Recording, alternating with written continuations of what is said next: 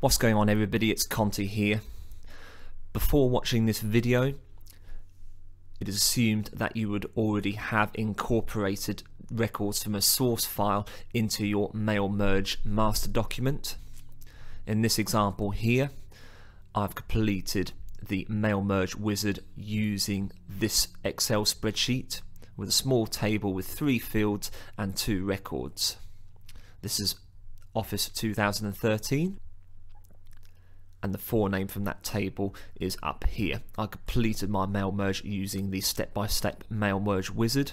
Now what I would like to do is to incorporate an ask rule so that I can input a job that an applicant has applied for in this part of the sentence between hour and post. First of all, left click where you want this new bit of data to go. I want my job, which the end user will be asked for eventually, to appear here. Press Control and F9 on your keyboard. Some keyboards may also require you to press Fn function as well as Control before F9. Make sure that you press Command instead of Control if you're a Mac user what I'm going to do is type in the word job and this is where my position will eventually appear. Left click to the left of the container, make sure you're out of the grey spot there. You can go to the left on the same line or on a line above so that your rule applies to this particular section here. If I now go to rules and then ask, in the prompt window you want to type the instruction that you are going to be presenting to the end user so for example in this case I'm going to say type in the job. It doesn't have to be a question it's up to you.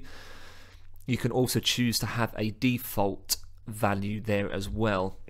So what I'm going to use in this case here as an example is administrator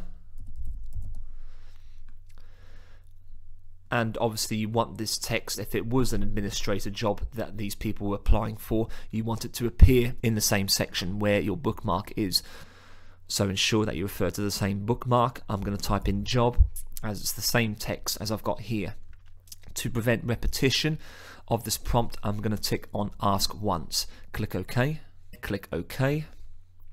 And when I preview my results you can see that the document has been created with the job position there. And this has been applied to both applicants. Just to test this now as well in a separate document as well where I can see individual letters for each person appearing on different pages I'm going to go to finish and merge. Edit individual documents I want all records from my spreadsheet table to be referred to. So I'm going to leave that selected and click OK.